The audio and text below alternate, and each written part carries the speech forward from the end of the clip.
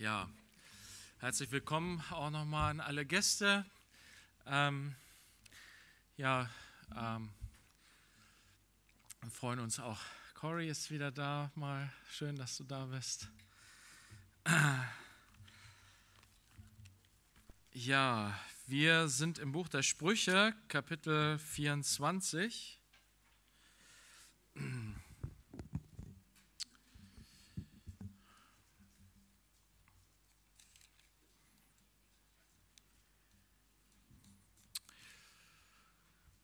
Jesus hat zu seinen Jüngern gesagt, ähm, als sie unterwegs waren und so richtig na, mit Vollmacht ausgestattet, großartige Dinge bewirkt haben.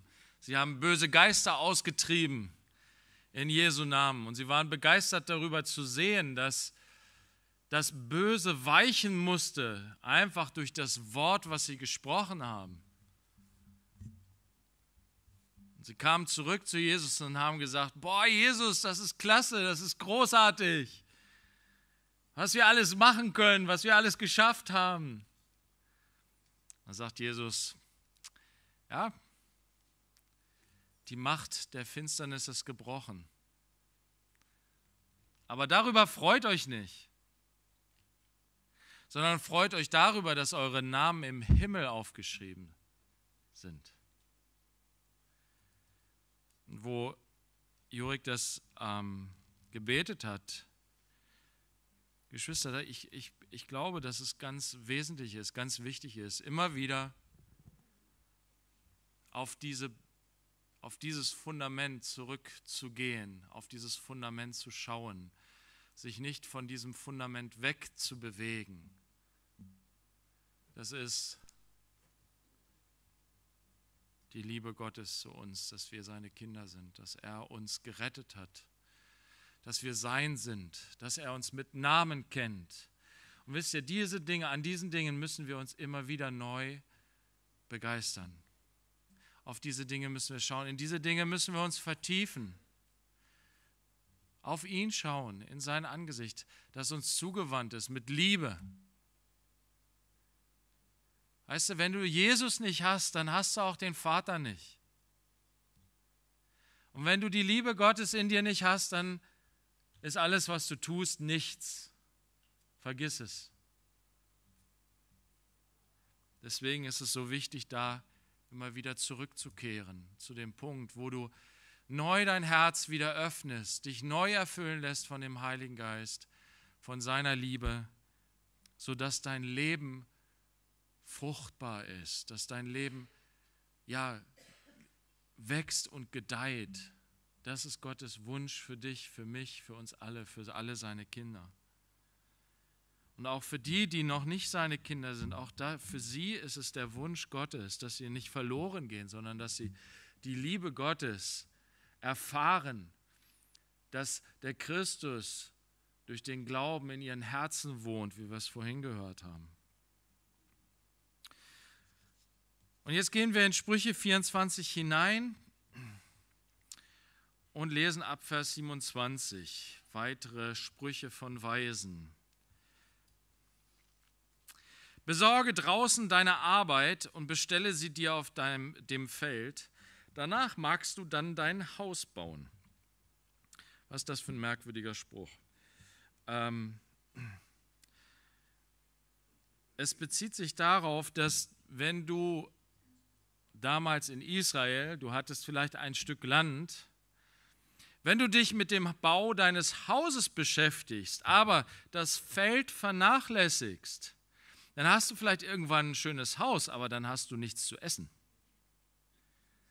Und ein schönes Haus haben, in dem du dann schön sterben kannst, bringt dir nichts, sondern schaffe zuerst für deinen Lebensunterhalt, dann kannst du dein Haus bauen. Ist eigentlich ganz logisch, oder? Aber leider Gottes sind wir manchmal so dusselige, dumme Schafe, die die Reihenfolge verwechseln, die die Prioritäten im Leben nicht richtig setzen, die das, was noch warten kann und soll und muss, zuerst machen und das, was eigentlich getan werden muss, auf die lange Bank schieben. Und am Ende haben wir den Salat. Dann kommen wir nicht klar mit unserem Leben, dann geraten wir in viele verschiedene Probleme und Nöte hinein.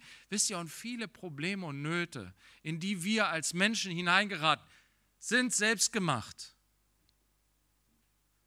Weil wir in unserer Dummheit, in unserer Torheit nicht den Ratschlag, die, Weisheit Gottes befolgen, nicht uns von der Weisheit Gottes leiten lassen, sondern meinen, wir wissen es besser. Weil wir in unserer Sündhaftigkeit ein großes Problem haben, Dinge anzugehen, die uns keinen Spaß machen oder vor denen wir Angst haben. Weil wir denken, ich schaffe das nicht, ich kann das nicht, dann schiebe ich es erstmal zur Seite. Aber Gott sagt, geh das an, was wichtig ist, das, was Priorität hat. Geh es an, mach das zuerst, damit du nicht am Ende in deinem toll gebauten Königreich, in deinem toll gebauten Haus, wo du so viel Zeit investiert hast, vor Hunger stirbst. wisst ihr, das hat ja auch eine geistliche Komponente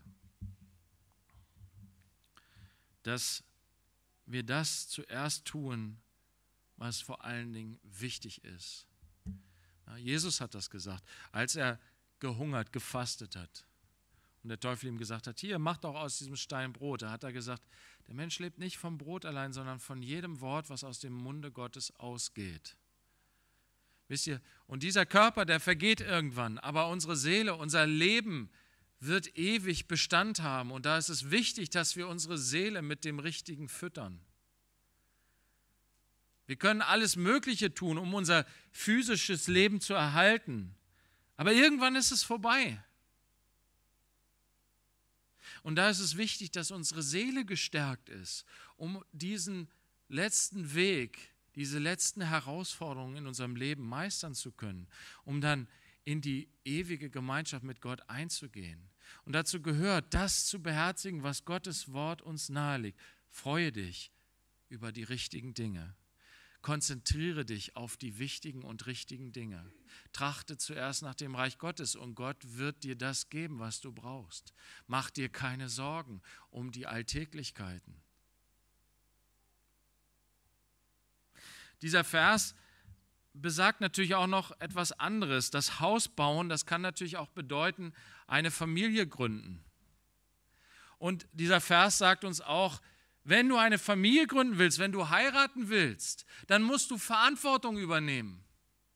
Und Verantwortung übernehmen, das zeigst du darin, dass du erstmal für dich selber sorgst. Na, wer es nicht gelernt hat, für sich selber zu sorgen, wie soll der für jemand anders sorgen? Das ist ein Grundprinzip im, auch in der Gemeinde. Da sagt Paulus, ne, wenn jemand in der Gemeinde Verantwortung übernimmt, dann soll er zuerst in seinem Haus ein guter Haushalter sein. Jemand sein, der Verantwortung übernimmt für sein eigenes Leben, für seine Familie. Wenn er das gut macht, dann kann er auch in der Gemeinde Verantwortung übernehmen. So ist es aber hier schon mit der Familie. Wenn jemand gut für sich selber sorgt, wenn jemand Verantwortung für sich selbst übernimmt, und das ist das, was Gott eigentlich sagt, wenn er in 1. Mose 2 sagt, darum wird ein Mann Vater und Mutter verlassen, auf eigenen Beinen stehen, Verantwortung für sein eigenes Leben übernehmen. Ja, und für seinen Lebensunterhalt sorgen. Das ist das Prinzip, was Paulus sagt in Epheser 4. Diejenigen, die gestohlen haben, er macht es fest an den Dieben, die, die als Diebe gelebt haben. Die, die gestohlen haben, sollen nicht mehr stehlen, sondern was sollen sie tun? Mit ihren eigenen Händen arbeiten, damit sie sich selbst versorgen können, nicht abhängig sind von anderen, sondern sich selbst versorgen können und darüber hinaus auch noch anderen etwas weitergeben können. Gerade junge Geschwister, nehmt diesen Rat Gottes an. Das, ist, das sind die Prioritäten Gottes. Das ist wichtig für euer Leben. Diese eigene Verantwortung zu übernehmen für das eigene Leben, das ist dann eine gute Grundlage, um auch eine Familie zu gründen. Wir gehen weiter in Vers 28. Werde nicht ohne Grund Zeuge gegen deinen Nächsten. Willst du etwa täuschen mit deinen Lippen?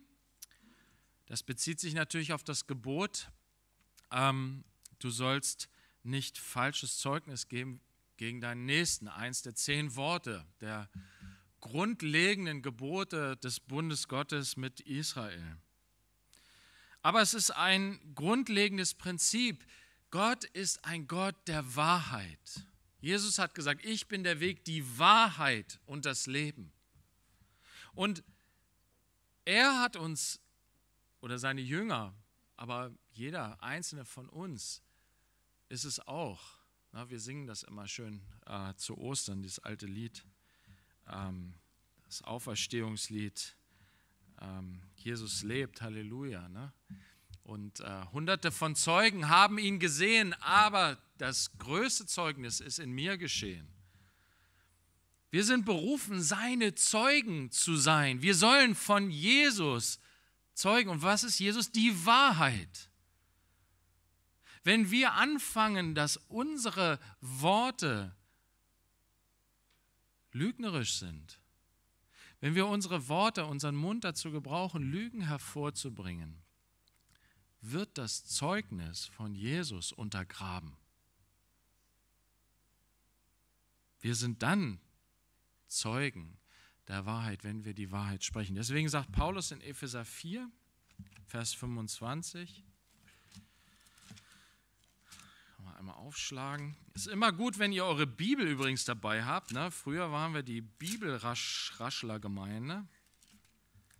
Hat irgendwie nachgelassen. Ich weiß nicht, weil ich es nicht mehr so oft sage. Smartphones, ja, das ist wirklich, also ich weiß es nicht, ob das gut ist. Wisst ihr, äh, mit dem, mit dem Smartphone, das hat so seine Vorteile. Ne? Man kann das so klein und handlich in die Tasche packen, aber ich weiß nicht, was ihr mit euren Smartphones den Gottesdienst über so alles macht. Lest ihr wirklich die ganze Zeit nur in der Bibel? Ich weiß nicht, wer sich jetzt angesprochen fühlt. Fühl dich angesprochen. Wenn es dir nicht gelingt, mit deinem Smartphone den Gottesdienst über die ganze Zeit in der Bibel zu bleiben, dann lass es zu Hause und nimm deine Bibel mit. Wenn du aber frei bist im Herrn und die ganze Zeit dein Smartphone auf, ähm, hier, wie heißt das, Flugmodus hast und den ganzen Gottesdienst über nur in deiner Bibel-App bist, okay. Wo der Geist des Herrn ist, da ist Freiheit. Es liegt nicht am Smartphone, es liegt hier dran. Ist so. Und wenn wir mit der Freiheit nicht umgehen können, dann, dann müssen wir selber einen Weg finden, wie wir unserem Fleisch einen schönen Rahmen geben, damit das Fleisch nicht so wirken kann, wie es gerne möchte. Okay, also Epheser 4, Vers 25. 25 habe ich gesagt? Ja, 25. Wisst ihr, es ist ja auch so mit der Bibel. Es ist, das ist das Wort Gottes. Darin redet Gott zu dir, zu mir, unser Vater. Wenn du sagst, ich höre Gott nicht, ich sehe Gott nicht, ich weiß nichts von Gott, irgendwie ist Gott mir so fern, ja, hier, da ist es doch. Schlag es auf, lies darin, lebe darin. Na, nimm es dir zu Herzen. Na, lies es so, wie als ob Gott direkt jetzt zu dir spricht. Na? Und sei bereit, darauf zu reagieren, denn das ist das Wichtige. Wenn du dich natürlich hart machst und sagst, ja, ist mir egal, was mein Vater sagt, ich mache hier so, ne? dann, ja, dann ist es vielleicht kein Wunder, dass Gott dann irgendwann nichts mehr sagt weil er sich denkt, hm, ob ich jetzt was sage oder nicht, bringt eh nichts. Kommen wir gleich noch zu. Vers 25. Deshalb legt die Lüge ab, das Falsche, das Unwahre, legt es ab, redet Wahrheit, ein jeder mit seinem Nächsten. Das ist Gottes Herz für seine Kinder. Gebrauch deinen Mund nicht zur Unwahrheit.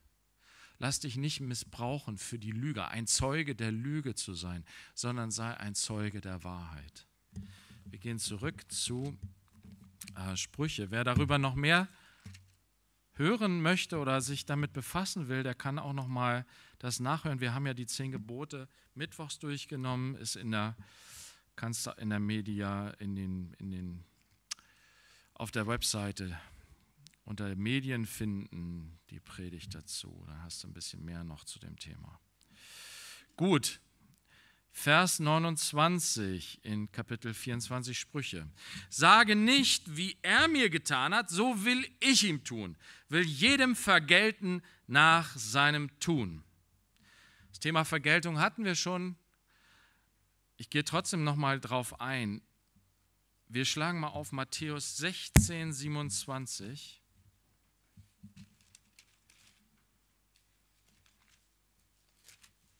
Da sagt Jesus etwas Wichtiges über das Thema Vergeltung.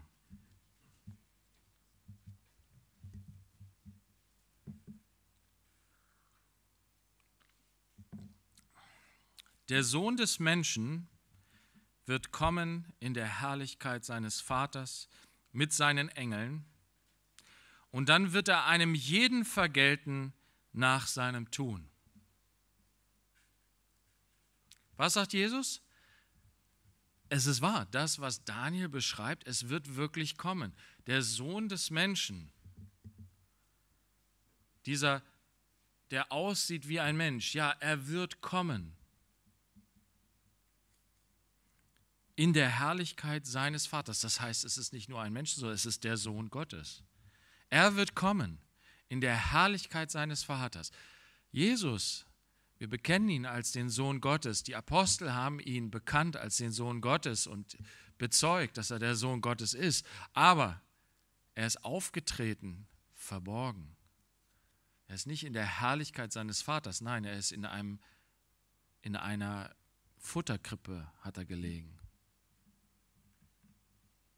Er ist als Zimmermann durch die Gegend gezogen in Galiläa. Er hing am Kreuz als Schwerverbrecher. Der Himmel wurde finster. Er wird aber in der Herrlichkeit seines Vaters kommen. Davon spricht die Offenbarung. Davon spricht die Prophetie. Jesus wird wiederkommen. Das hat er seinen Jüngern gesagt. So ähm, die, die Engel, als Jesus aufgefahren ist zum Himmel, haben die Engel zu den Aposteln gesagt, so wie ihr ihn habt weggehen sehen, so wird er wiederkommen. Jesus kommt wieder. Wir sehen die Nachrichten, wir sehen die Unruhe, die Zeiten, die unruhigen Zeiten, die Naturkatastrophen. All das hat Jesus über die Zeit des Endes vorausgesagt. Jesus kommt wieder. Aber was steht hier? Was sagt Jesus selbst darüber, was seine Aufgabe und sein Auftrag ist, wenn er wiederkommt? Vergeltung. Das ist seine Aufgabe. Das ist sein Business. Nicht deins, nicht meins. Okay? Vergeltung ist Jesus Business, nicht mein Business. So einfach ist das. Und deswegen sagt Gottes Wort schon im Alten Testament, sage nicht, ich werde vergelten. Ich werde das, was mir angetan hat, zurückmachen. Nein, ist nicht meine Aufgabe. Wenn ich das tue, dann greife ich ein, dann nehme ich Jesus etwas weg, was ihm zugesteht, was ihm gehört. Jesus ist der Richter. Dann schlagen wir 1. Petrus 3 auf.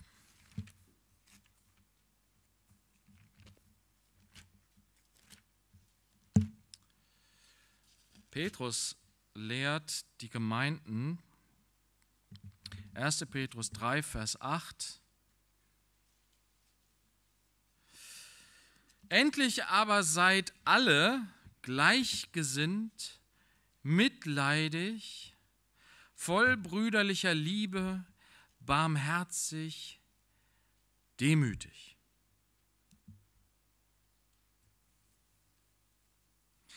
Das ist Gottes Wunsch So soll unser Charakter sein. Fühlst du dich hier gut beschrieben?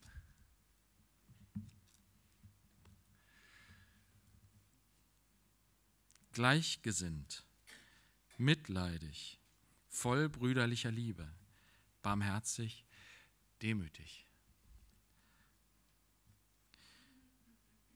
Wisst ihr, das ist Christus in uns. Und Johannes hat gesagt, er soll wachsen, ich aber will abnehmen. Das ist alles. Verzweifel nicht darüber, wenn du dich hier nicht gut beschrieben siehst. Gott ist an der Arbeit und er will das bewirken in dir. Aber sei offen dafür. Streck dich danach aus. Sag, Herr, bitte, verändere mich weiter. Arbeite weiter an mir. Auch wenn es manchmal schwierig ist, anstrengend, nervig ist, wenn ich immer wieder konfrontiert werde mit meinem Versagen, okay. Aber wisst ihr, das ist gar nicht weiter schlimm, weil Jesus uns vergeben hat. Alle vergangene, alle gegenwärtige, alle zukünftige Sünde. Aber streck dich weiter danach aus. Herr, ich möchte mehr so werden. Das soll mein Charakter sein. So wie du bist, so will ich werden voller Liebe, barmherzig, demütig. Vers 9, und vergeltet nicht Böses mit Bösem oder Beschimpfung mit Beschimpfung, sondern im Gegenteil, segnet, weil ihr dazu berufen worden seid, dass ihr Segen erbt. Du bist berufen, den Segen zu empfangen, den Segen Gottes. Deswegen, weil du diesen Segen empfängst, bist du bestimmt dazu, selbst ein Segensspender zu sein. Einer, der Segen austeilt. Und nicht einfach nur das Böse, was er erfahren hat, zurückzugeben. Wisst ihr, wir sind Wesen, die reagieren. Na, etwas trifft uns, etwas kommt auf uns zu und wir reagieren. Und das, was, wozu Gott uns, wovon Gott uns freimachen will, ist, dass wir uns von dem Bösen, was in dieser Welt ist, dass wir davon bestimmt werden und darauf reagieren, sondern dass wir bestimmt sind von der Liebe Gottes. Dass wir reagieren auf die Liebe Gottes, die in unser Leben hineinkommt. Und dadurch frei sind auf all das Böse, was auf uns eintrifft, aus dieser Welt reagieren zu müssen. Dazu sind wir bestimmt. Dazu sind wir berufen. Nicht Böses mit Bösen zu vergelten, sondern Segen auszuteilen. Und es gibt im Alten Testament da wunderbare Beispiele dafür, wenn du die mal nachlesen willst, ne? wenn du die Geschichten nicht kennst. Sonst rufe ich sie dir einfach hier nur mal kurz in Erinnerung. In 1. Mose 50, Vers 15 sehen wir am Ende der Geschichte von Josef und seinen Brüdern. Die Brüder in Angst und Schrecken, weil ihr Vater gestorben ist. Und sie denken, jetzt wo unser Vater tot ist, da wird Josef seinen Zorn über uns kommen lassen. Na, unser Vater, der hat da immer noch, war da immer noch dazwischen und er hat es verhindert, dass Josef so richtig wütend auf uns geworden ist nach all dem, was wir ihm angetan haben. Aber jetzt wird er vergelten. So steht es hier in 1. Mose 50, 15. Als Josefs Brüder sahen, dass ihr Vater gestorben war, sagten sie, wenn nun Josef uns anfeindet und uns gar all das Böse vergilt, das wir ihm angetan haben. Und dann denken sie sich irgendwie sowas aus, womit sie sich selber helfen und schützen wollen. Aber es trifft überhaupt nicht Josef, weil sein Herz ist ganz anders. Josef sagt in Vers 19, fürchtet euch nicht, bin ich etwa an Gottes Stelle? Ist das nicht interessant? Genau das. Ich mische mich nicht in ein fremdes Business ein. Gott ist der Richter. Und er ist derjenige, der vergilt. Ich bin's nicht.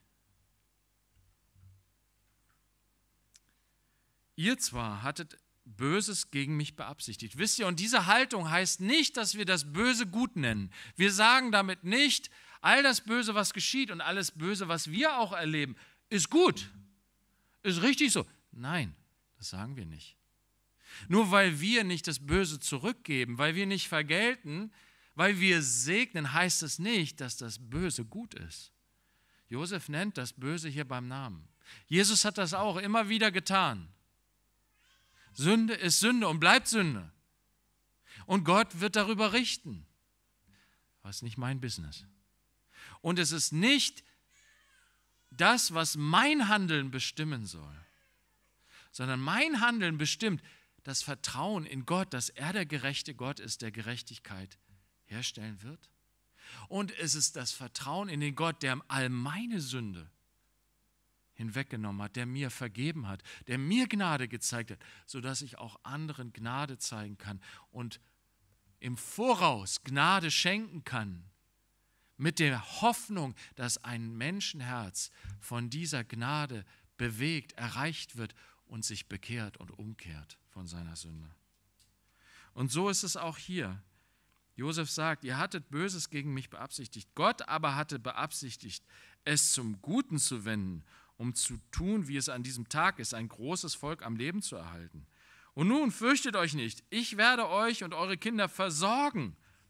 So tröstete er sie und redete zu ihrem Herzen. Guck mal, das ist derjenige, den sie verraten, verkauft haben, den sie eigentlich schon umbringen wollten.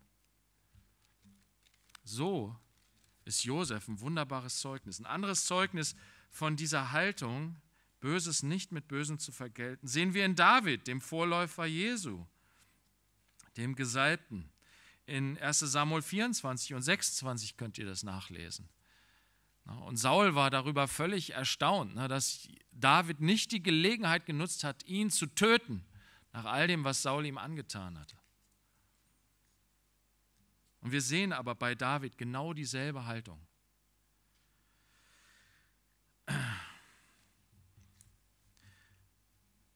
1. Thessalonicher 5, Vers 15. Was ist die Schlussfolgerung daraus?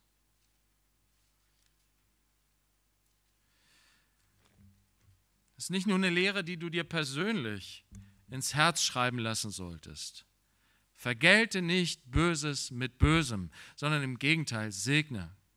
Selbst da, wo, du, wo dir geflucht wird. Nein, es ist sogar noch mehr. Hier in 1.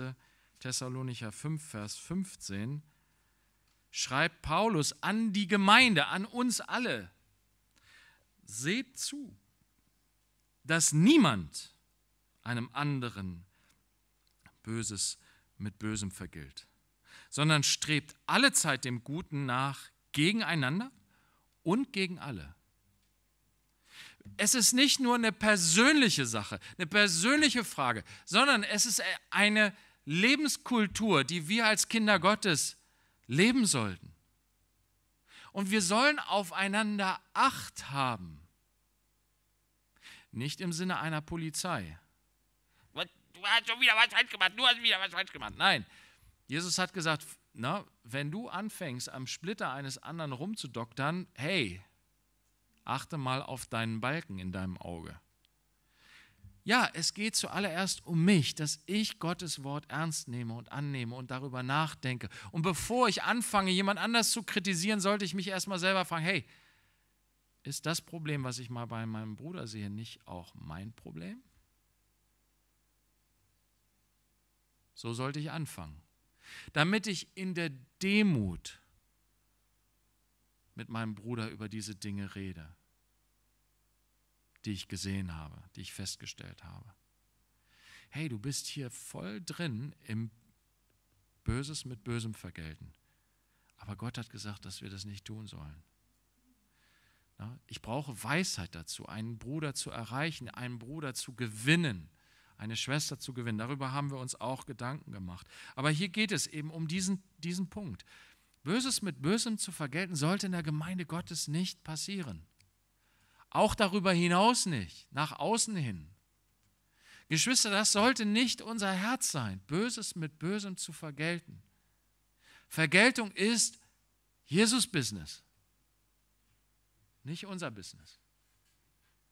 Wir haben einen anderen Auftrag, wir haben eine andere Aufgabe, Liebe in diese Welt hineinzubringen.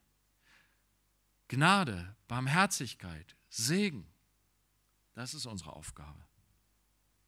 Deswegen achtet darauf, seht zu, dass niemand einem anderen Böses mit Bösem vergilt. Wisst ihr, wir leben in der Gemeinde Gottes nicht unser Privatleben, kommen sonntags hier zum Gottesdienst, hören uns irgendwie die Predigt an und gehen dann wieder auseinander und leben dann wieder unser Privatleben. Nein, wir sollen aufeinander Acht haben. Und das war jetzt echt schwer die ganze Zeit der Corona-Zeit über. Lass uns aber daran bleiben, dass wir miteinander leben und so einander helfen, in dieser Lebenskultur zu leben, die Gott uns ins Herz schreiben will, diesen Charakter auszubilden.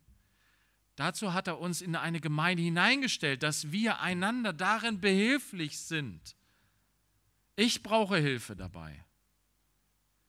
Du brauchst Hilfe dabei. Wir gehen zurück zu Sprüche.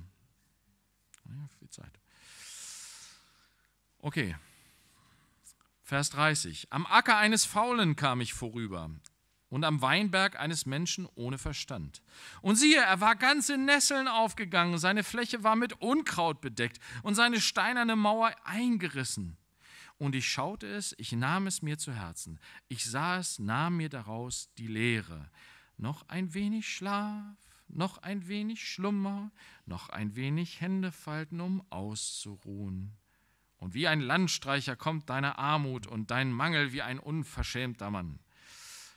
Dieser Schluss, den, den äh, haben wir schon gelesen in Sprüche 6, Vers 10 und 11. Es ist einfach nur mal noch mal eine Erinnerung auf die lange Bank geschoben. Das Wichtige, was wir vorhin hatten.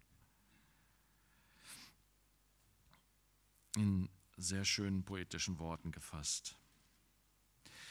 Kapitel 25, Vers 1. Auch dies sind Sprüche Salomos, die die Männer Hiskias, des Königs von Juda, zusammengetragen haben. Hatte ich schon vor zwei Wochen, glaube ich, mal was zu gesagt.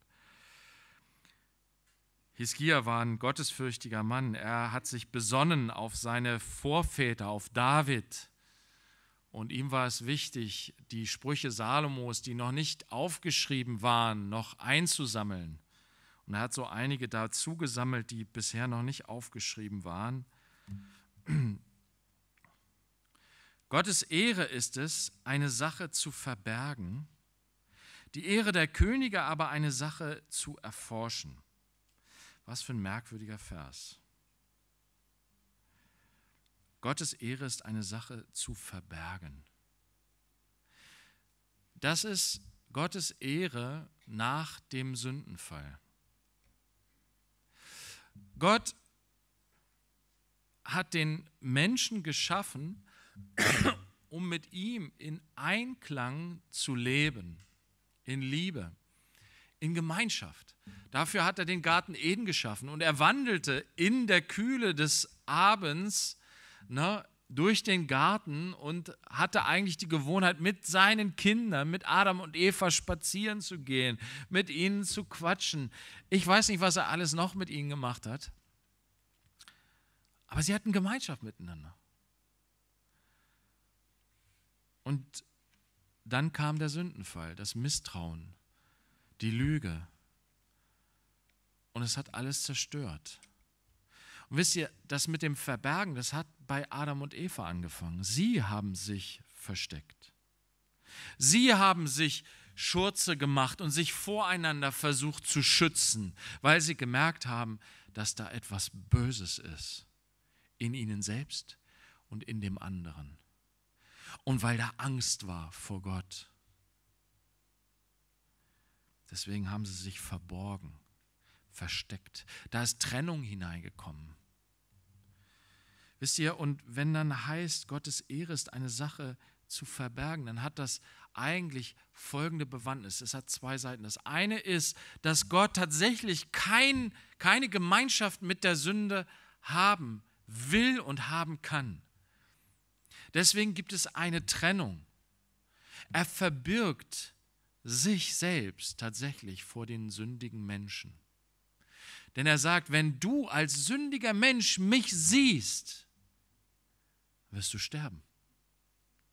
Du kannst in das heilige Angesicht Gottes nicht schauen als sündiger Mensch. Das hat auch Mose gesagt. Wo Mose ein treuer Diener Gottes war, in 2. Mose 33 sagt, er, na, sagt Mose, oh, ich möchte dich sehen in deiner Herrlichkeit. Und Gott sagt, das geht nicht, kannst du nicht. Ich werde dir etwas von mir offenbaren, aber ich, du kannst mein Angesicht, kannst du nicht schauen. Gottes Ehre ist eine Sache zu verbergen, heißt, er verbirgt sich selbst vor uns. Warum? Weil er keine Gemeinschaft mit der Sünde haben kann und haben will. Aber selbst da, wo wir uns danach sehnen, wo wir zu ihm hingelangen wollen, selbst da zeigt er sich uns nicht in seiner ganzen Herrlichkeit. Warum? Um uns zu schützen, weil er uns liebt.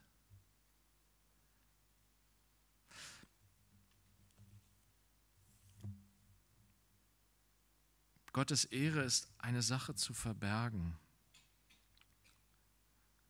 Es ist so, wie Jesus sagt, Matthäus 7, Vers 6, wie er seine Jünger lehrt.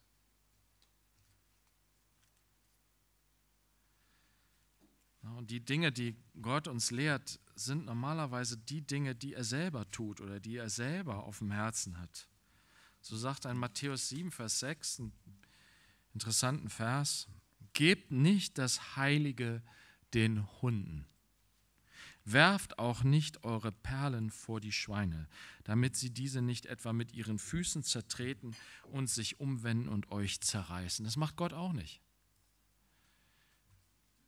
Gott gibt das Heilige nicht einfach den Sündern preis.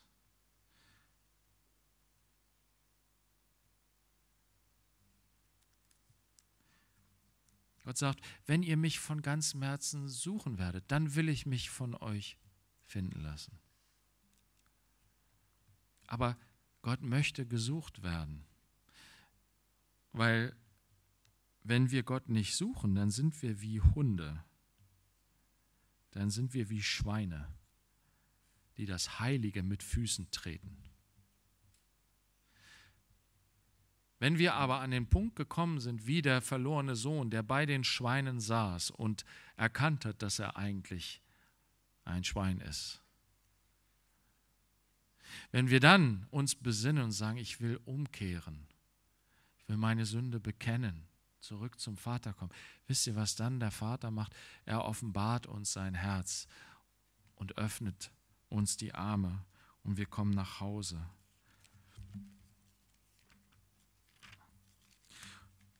Und das hat Gott angefangen in uns. 1. Korinther 13.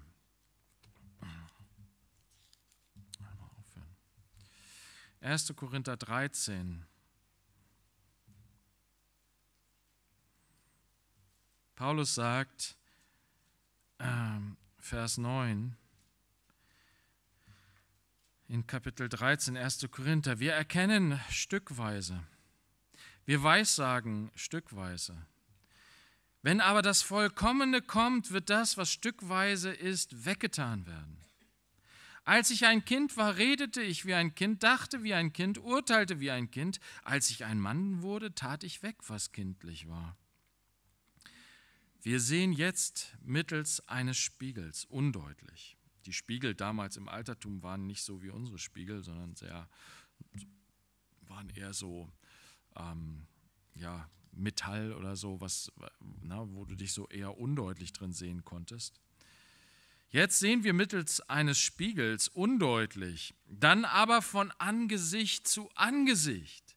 Jetzt erkenne ich stückweise, dann aber werde ich erkennen, wie auch ich erkannt worden bin. Es hat angefangen. Gott hat mich erkannt. Er hat mich gesucht, er hat mich gefunden und mein Herz ist aufgegangen. Und ich durfte etwas von ihm erfahren. Er hat mir etwas von sich offenbart. Aber das Vollständige, das Vollkommene, das kommt noch. So ist es für Gott eine Ehre, eine Sache zu verbergen.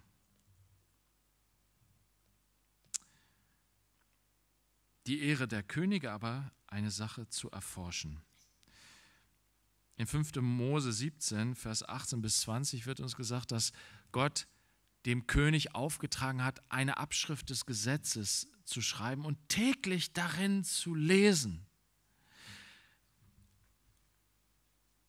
Von Esra, dem Schriftgelehrten, wird uns gesagt, er hatte sein Herz darauf gerichtet, das Wort Gottes zu erforschen, zu tun und zu lehren.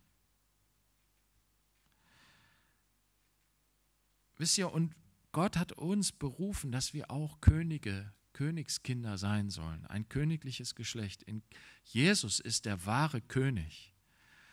Und er hat uns berufen, ihm gleich zu sein, seine Brüder und Schwestern zu sein, Königskinder. So ist es auch für uns eine Ehre, Gott zu erforschen. Und es sollte für uns eine Ehre sein, dass wir Gott erforschen dürfen. Er offenbart sich uns. Er hat uns sein Wort gegeben, damit wir ihn erforschen. Und damit wir uns erforschen lassen von ihm. Das sind zwei Seiten. Nicht nur, dass wir ihn erforschen, sondern auch uns selbst erforschen lassen durch ihn. Es ist eine Ehre, wenn du nicht an der Oberfläche bleibst als Mensch, sondern dass du in die Tiefe gehst